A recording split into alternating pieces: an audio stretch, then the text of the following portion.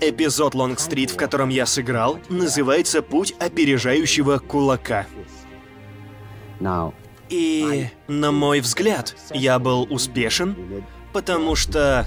потому что я был Брюсом Ли.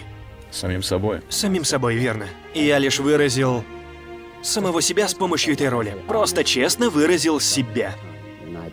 И именно поэтому я получил похвальный отзыв от редакции New York Times, в котором говорилось Китаец, которому удалось сыграть настолько убедительно, что он достоин главной роли в отдельном сериале.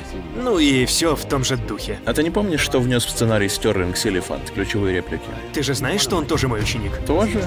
Да. Всюду твои ученики. Но там были реплики, выражавшие твою философию. Не знаю, вспомнишь ли ты. Я их помню. Давай послушаем. Вот что я говорил. Я о твоем диалоге с персонажем Джеймса Францискуса. Я сказал ему опустоши свой разум. Стань бесформенным, аморфным, как вода. Когда воду наливают в чашку, становится чашкой. Когда воду наливают в бутылку, она становится бутылкой. Когда воду наливают в чайник, она становится чайником. Вода может течь, а может крушить. Будь водой, мой друг.